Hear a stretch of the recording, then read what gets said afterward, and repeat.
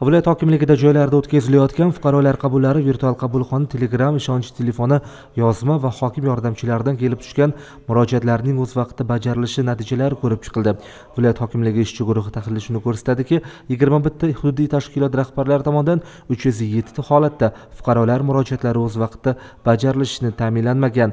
Viloyat rahbarining ta'kidlashicha ayrim murojaatlar hududiy boshqarma va tashkilotlar tomonidan javobsiz qolayotganligi sababli fuqarolar virtual qabulxona va turli vazirliklarga murojaat qilishga majbur bo'lmoqda.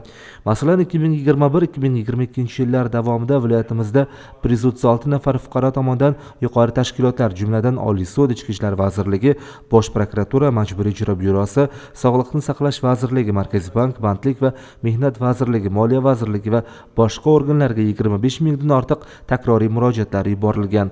Viloyat hokimi har bir murojaat qonuniy jihatdan puxta ko'rib chiqilishi va uni hal etish bo'yicha barcha zarur choralarni ko'rish zarurligini ta'kidladi.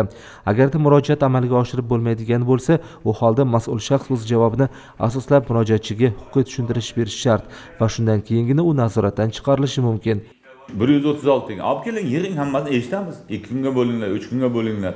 O'zlaring qilolmayotgan bo'lsanglar agar bu to'g'ri yozayotgan bo'lsa uni yechib berishimiz kerak. Noto'g'ri yozayotgan bo'lsa noto'g'riligini dokazat qilib tushuntirish kerak jamoatchilik bilan. Shug'ullaning olib keling man muhokama qilyapmiz hammasini chaqirib uni eshitaylik bugungi kunda viloyat tashkilotlari ya'ni elektr energiyasi mudofaa irrigatsiya tizimlari kadastr hujjatlari mahallalar xalq ta'limi va boshqa masalalarga oid murojaatlar ijrosi sutkashlikka uchramoqda. Yig'ilish yakunida erkinjon turdimov barcha masalalar ijrosini shaxsan o'zi nazorat qilishini ta'kidlab mas'ullarga nafaqat murojaatlarni yechish balkim shunga o'xshash murojaatlarning qayta paydo bo'lmasligi uchun tizim ishlab chiqish zarurligini bildirdi.